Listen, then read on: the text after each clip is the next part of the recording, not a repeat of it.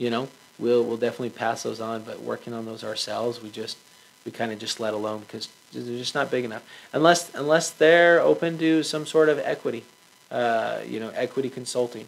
And so back to the equity consulting is is you take a retainer, whatever you feel you're worth on a monthly basis, to they pay you to keep yourself concentrated on them for a certain amount of time, and you can go through to help these people with growth, right?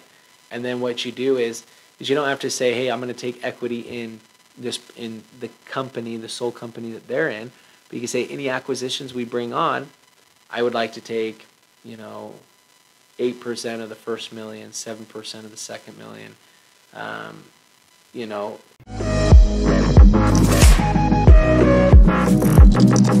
Happy deal hunting.